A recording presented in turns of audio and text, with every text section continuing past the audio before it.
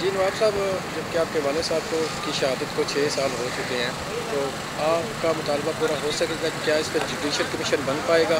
बलोचिस्तान में? देखें जी मैं आज सिर्फ़ अपने वालिद के लिए वालिद के हवाले से यहाँ नहीं आया। मेरा जो वालिद के ऊपर जो धमाका हुआ 2018 में उसमें 300 से ज़ायद अफराद शहीद हुए और जिसमें मासूम लोग भी थे। मैं उनके लिए यहाँ आया हूँ। कि इनके लिए एक जुडिशल कमीशन बनाया जाए। और इसी तरह 2011 में मेरे भाई को शहीद किया गया जिसकी क्लेम बीएलए ने की बीएलएफ ने की।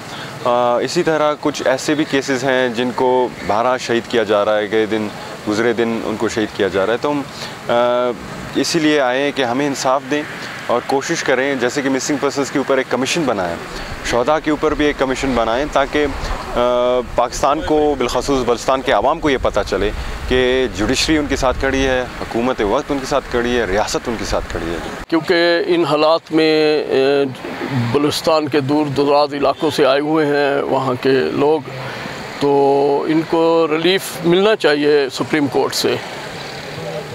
तो क्या सर आपको लगता नहीं है कि अब ये बलोच को बलोच के साथ एक बलोच की बलोच के साथ एक टक्कर लगवा दी गई है जी जी। करवा दिया गया है? हाँ बिल्कुल ये ये चीज़ मैंने यहाँ नोट की है कि ऐसा होना नहीं चाहिए।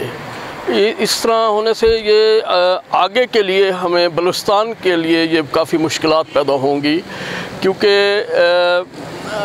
वो भी उनके भी शहीद हुए हुए हैं उन दूसरों के भी शहीद हुए हुए हैं तो इनको बैठ के इनको एक ही प्लेटफॉर्म पे इनको होना चाहिए।